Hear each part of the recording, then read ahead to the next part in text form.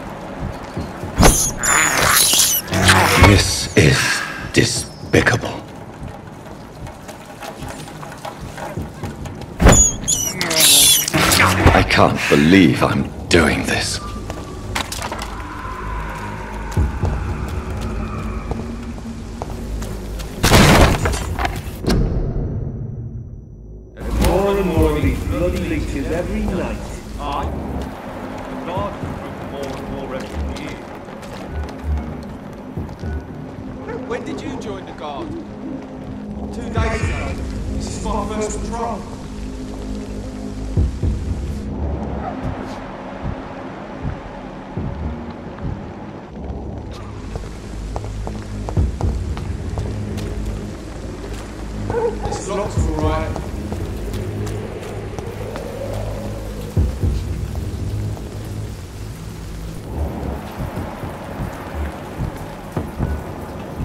It's closed. Best stay back.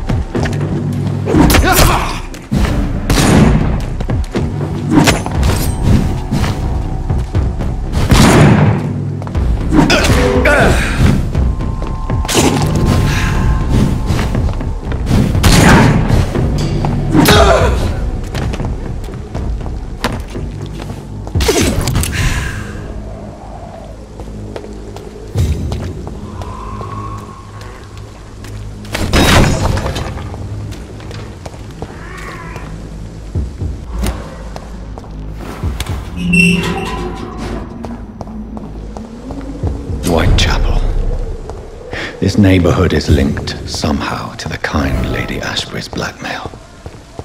First,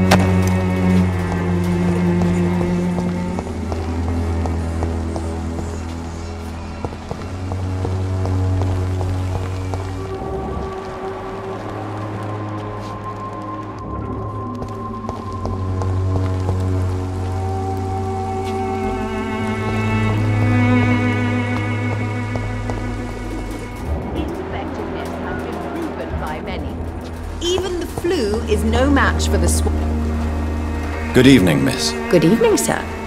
Are you interested in a miraculous cure for this unknown and deadly epidemic? Actually, I am. Then you have come to the right place. The famous Swanborough cordial is all you need to help keep you in perfect health. Oh, really? Why didn't I hear about it during my studies? I'm Jonathan Reed, by the way. Dr. Jonathan Reed. Ah, my brother has spoken of your research, sir. I'm Loretta Swanborough, and it's always a pleasure to meet a fellow healer. I'd like to see what kind of medicine you're selling.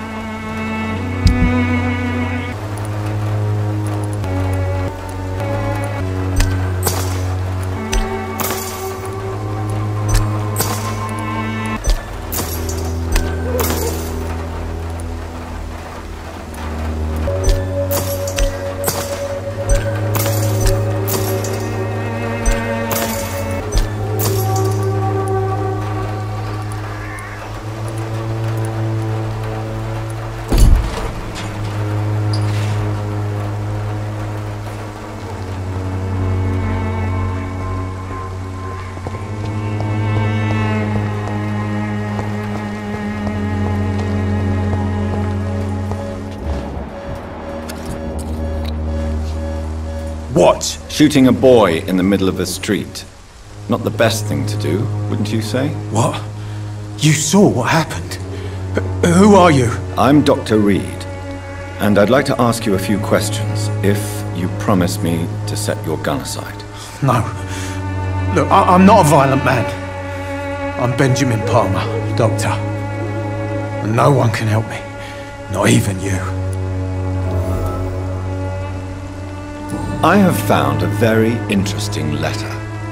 Your son planned to prove his worth to the gang by stealing your medicine. Oh, I see. So the little bugger thought he could use his dad to build a reputation. The gang's recruiter was dead when I found him. Perhaps you should take better care of your son. I love my Albert, sir. Believe me. It's just... Well, I'm an arsehole, I suppose. Anyway, thanks for the letter. This is for your trouble.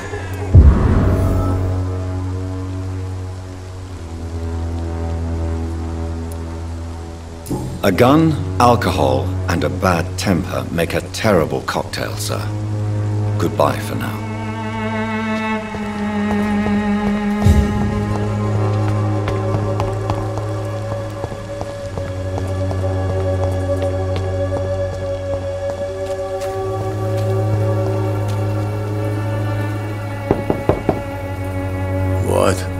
What do you want?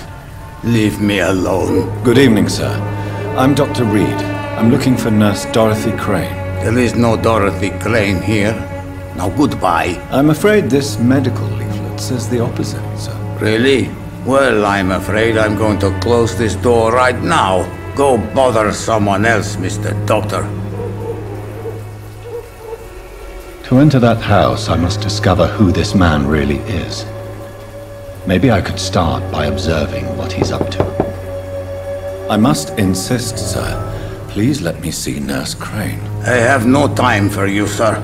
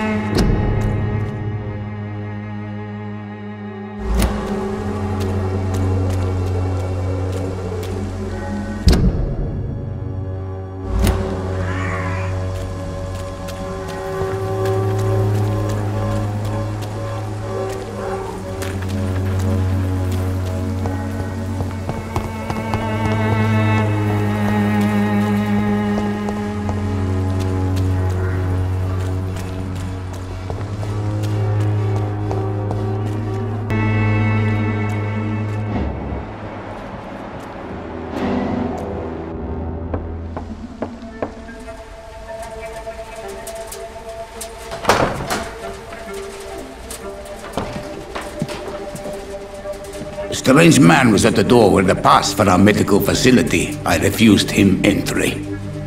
Darius, how could you know he didn't need our help? His clothes were too finely tailored to be from Whitechapel.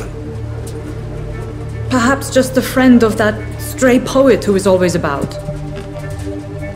Richard Nithercott? No, not of the same cloth, this man. I suspect some machination from that journalist. Clayton Darby. Is he still asking questions? Yes. I saw him drifting around St. Mary's Church. I swear he is tracking me just downwind.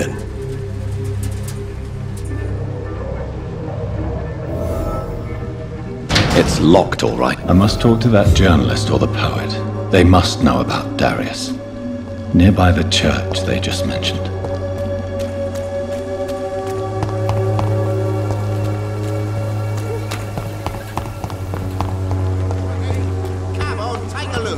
afraid. Cheap price, good quality. Protection against malevolence and trickery. You are blinded by your false faith, imprisoned by your daily routine. Unable to see the truth. You look so pale, my lord. Would you like me to...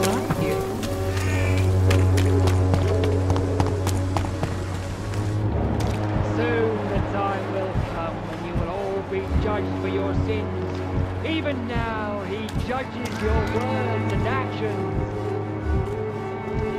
The wars of men should not be your main concern. The disease upon us is not an accident of nature, but the punishment of a divine will.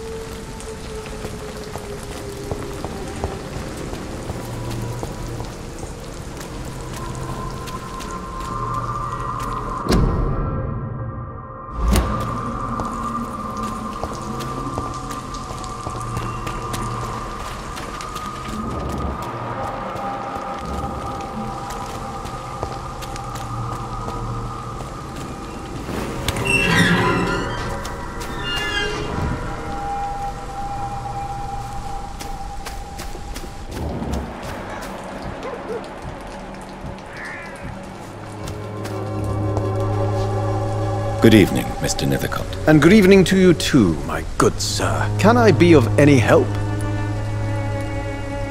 May I ask you a few questions about the district? Extraordinary part of town, is it not? I'll be glad to help you, if I can. What can you tell me about an old man called Darius? Darius Petrescu? Yes, I know him. At first, I thought he was only a small publisher. I invited him to publish my work, but his reaction was pretty clear. Not interested in your talent? Darius is an old political activist who takes delight in printing tracts and lampoons. Those communist activities only require mediocre writing skills.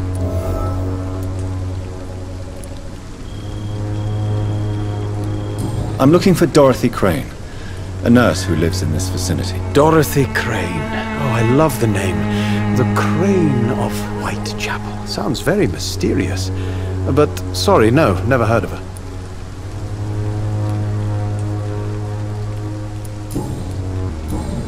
I'll leave you alone, sir.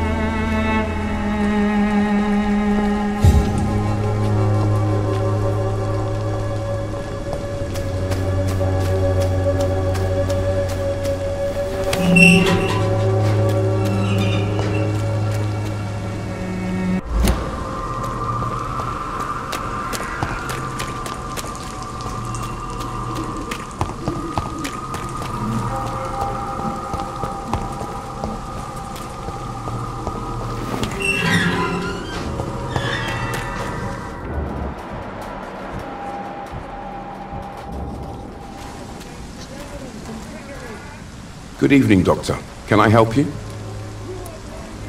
I heard you're investigating an underground medical dispensary in Whitechapel. What do you know about it? Not much, I'm afraid. They are wary of strangers, and I'm not really an acquaintance of theirs. Why do you care? It's confidential. Speaking as a doctor, Are you sure you're not just concerned about the repercussions that a scandal involving a certain Nurse Crane from the Pembroke Hospital would bring? Without a doubt, you are a damn fine journalist, Mr. Darby. What do you know of her accomplice, a man named Darius? I don't know much about the man. He's very cautious. Never goes out. Doesn't seem to have any friends or family. He never goes out? No. A few days ago, he unexpectedly did. I followed him, but it was just a ruse to keep me away from his house. Really? How do you know? He went to the nearest mailbox, but just before posting his letter, he ripped it up and threw it away. He has no relatives at all? No. Except for that strange man, a poet named Richard Nithercott, who sometimes comes by. Darius would never let him in. Where can I find this Mr. Nithercott? He spends most of his time lurking around Whitechapel, talking to himself or declaring verses. These days, you can usually find him behind the church.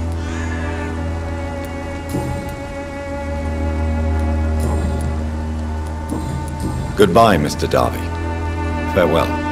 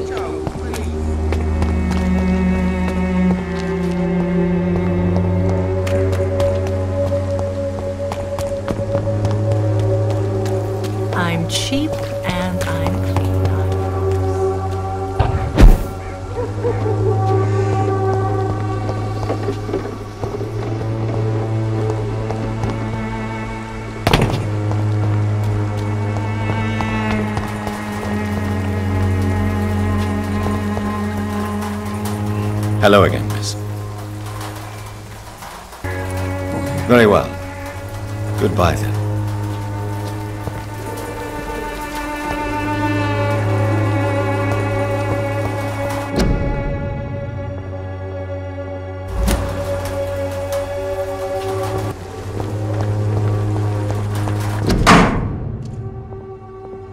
The content of Darius' letter to his children could give me more leverage to enter.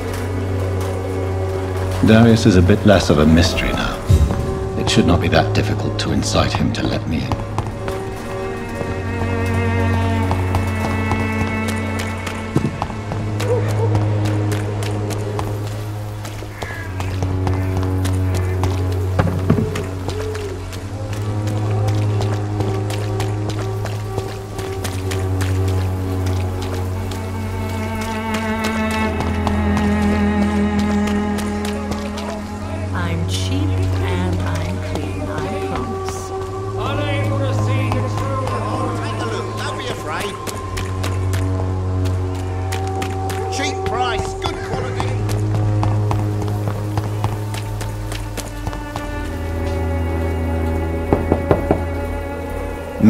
Mr. Petrescu, just one minute, please. You again?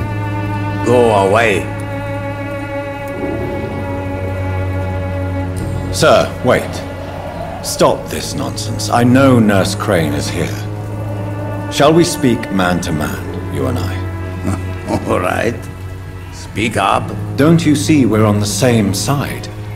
We fight to help the poor, sick, and abandoned. I'm nothing like you, Mr. Doctor. Yes, you are. You too believe in providing medical care without charge. You know what we have to sacrifice to make the world a better place. I have to admit your words have conviction. All right, I'll let you see Dorothea.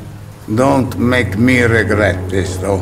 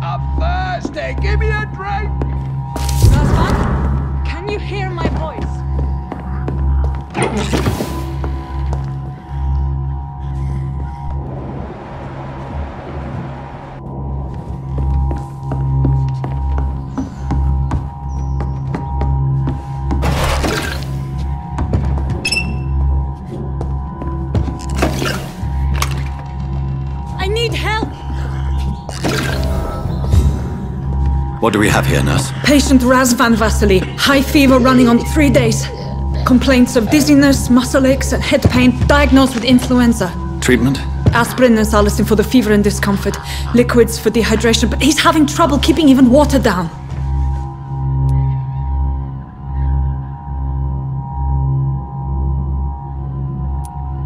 Thank you, nurse. Anything else I should know? He did lose consciousness this morning, but he's never had convulsions like these. He's not convulsing, he's choking. He's not getting any air. Scalpel! Hand me that scalpel! What can I do, Doctor?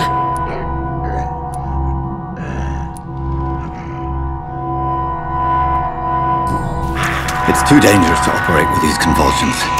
Sedative, nurse. Do we have any anesthetics? I'm sorry, Doctor, none at all.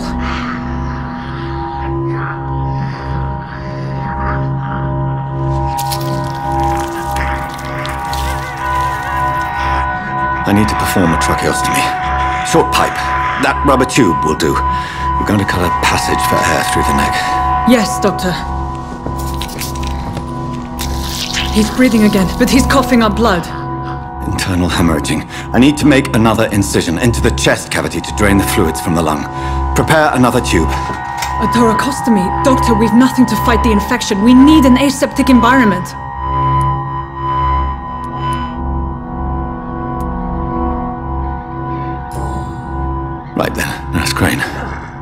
You suggest we do?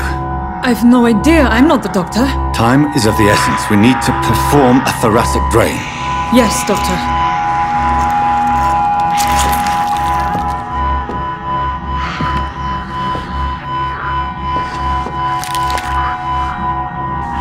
He's still bleeding, Doctor.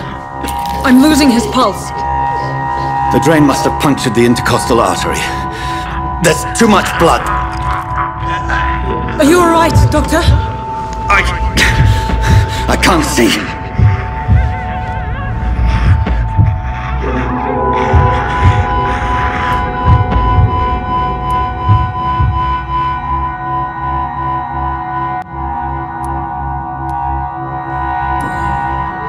Yes. Yes. I have this, nurse. Allow me to finish the procedure alone. I need the room. I'd prefer to stay and see this through. This is my patient, Doctor. I have needle and thread for stitching the wound.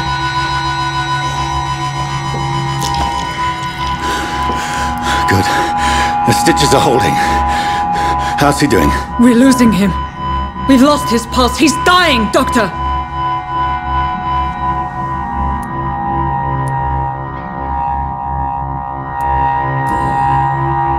Cardiac massage, now. Cardiac. What? Are you making this up as you go along?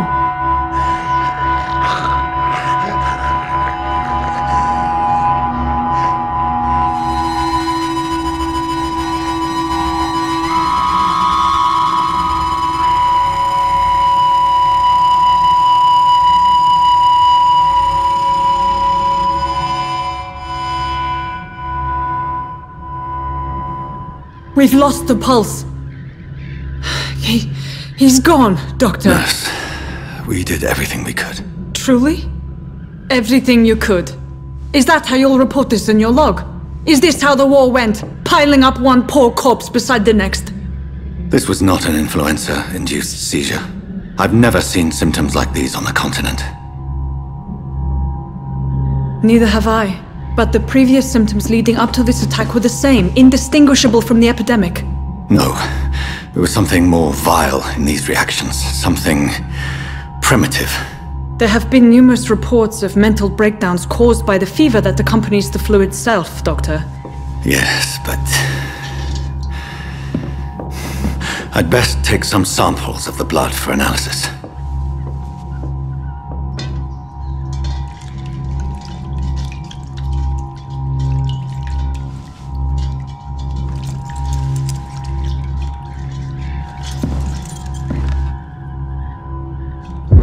Doubt you're here to test my bedside manners. I suspect it was more than intuition alone that led you to us. So, how might I be of service, Dr. Reid?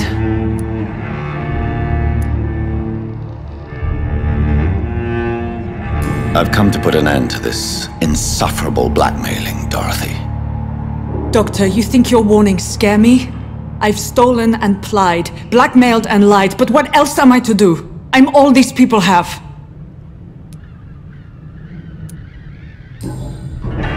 You've convinced me of the sincerity of your actions and their noble justifications. But all the same, blackmail is a crime, and it will stop, Nurse Crane. So, are you going to turn me over to the authorities?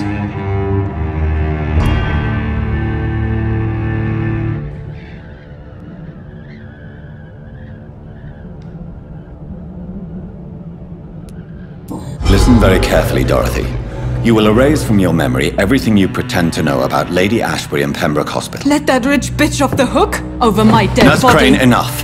Listen as if your life depended on every word. I know you've a generous heart who gives freely to those in need, but you shall walk away from the shadier streets of your business. I will never abandon. Dorothy, the discussion has come to a close. Your clandestine activities in the Resistance are over. Let it go. I'll. I'll let it go. Yes. All gone.